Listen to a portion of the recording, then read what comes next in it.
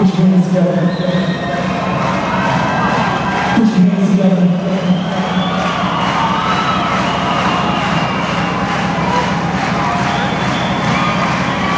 I like to next.